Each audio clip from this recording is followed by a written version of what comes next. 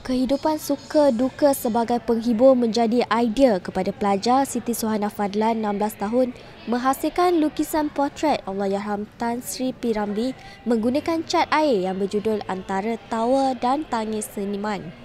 Siti Suhana berkata bakat dan karya dihasilkan seniman agung itu sangat dikaguminya sehingga mendorong dia untuk melukis sebuah potret yang didedikasikan khas kepada insan seni seperti P.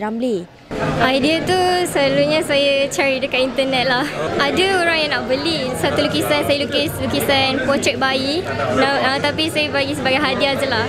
Uh, dan saya juga pernah jual uh, potret seorang ibu bapa kawan saya beli. Karya Siti Suhana antara 60 karya yang dipamerkan pada pameran potret dan karikatur Piramli, anjuran Fakulti Animasi dan Multimedia Aswara bermula 5 September hingga 29 September ini. Pameran yang dirasmikan oleh kartunis terkemuka tanah air Datuk Lat atau nama sebenarnya Muhammad Nur Khalid bertujuan mengangkat martabat P. Ramlee sebagai seniman yang tidak akan lenyap di telan zaman. Menjadi pelukis termuda yang dipilih, Siti Suhana berkata dia sudah menghasilkan hampir 100 lukisan berkonsepkan pemandangan, bunga, animasi dan potret sejak mula melukis pada berusia 11 tahun.